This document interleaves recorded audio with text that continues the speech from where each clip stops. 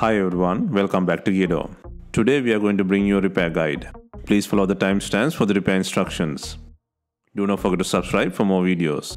Let us know if you have any questions. Please like, share and comment on our videos.